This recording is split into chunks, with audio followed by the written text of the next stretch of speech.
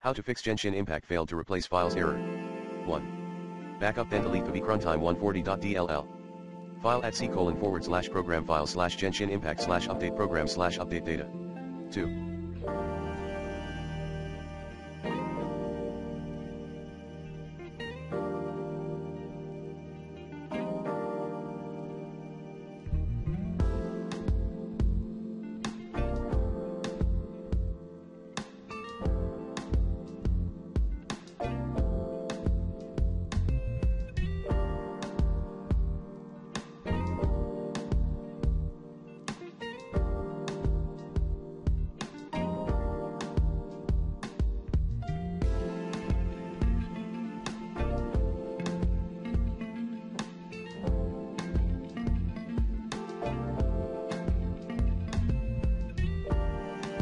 Install the Visual C++ redistributable files as admin.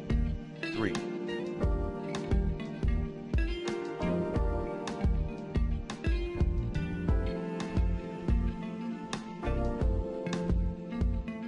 Play the game launcher as an administrator.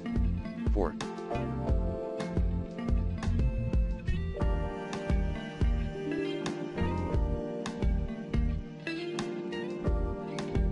Verify game files.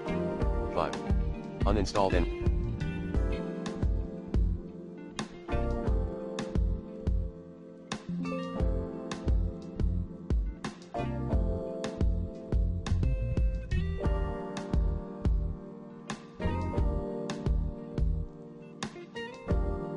Reinstall the game launcher.